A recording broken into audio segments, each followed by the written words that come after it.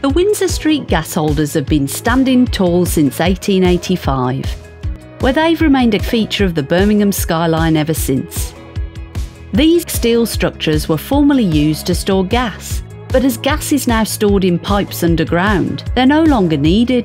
The gas holders will be dismantled by spring next year, but we don't want to forget the important industrial heritage of Windsor Street. As the last gas holders in Birmingham, we're capturing the stories of the Windsor Street Gasworks, and we want your help. We want to hear stories from the gasworks development in the 1800s through to today, including the gas holders' connection to Aston Villa Football Club and how they came to be painted in the club's colours. Do you have a story to tell about life and work in the gas industry at Windsor Street?